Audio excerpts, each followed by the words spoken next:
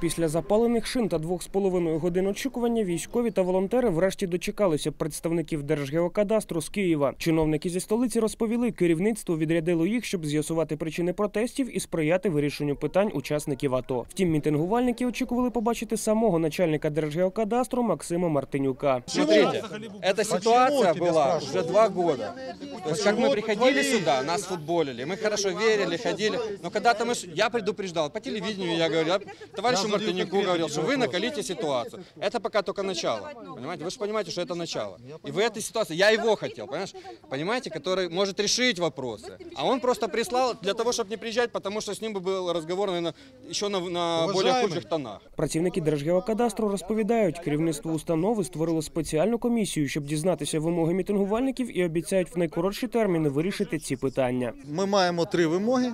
Це перше звільнення виконуючого обов'язки, якого призначили сьогодні, бо присяжнюк на лікарняному. Друге питання це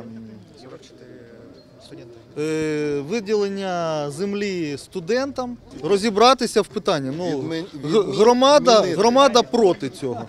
Нам треба підняти документи, з'ясувати, хто приймав рішення, і, і на підставі аналізу прийняти рішення і покарати винних. Третє питання. От е, пан е, сказав, що пан Олександр сказав, що по користанню є людина, яка має поранення, і на жаль, на теперішній час в нього е, в нього немає наказу на виділення землі. Вислухавши чиновників з Києва, військові вирішують дати тиждень на вирішення проблем і вже в наступний понеділок чекають на звіт від працівників Держгеокадастру. Результатами мы, конечно, недовольны, потому что мы хотели, как я и говорил, чтобы приехал начальник Держкадастра Украины. Ну, он же ж, ну, не хочет нас слышать, да, опять же, ж очередной раз.